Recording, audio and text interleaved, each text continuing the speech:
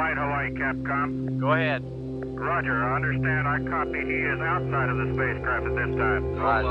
Uh, this is uh, Gemini Control. White has opened the door. He has stood up, and uh, it's a it's a most relaxed period.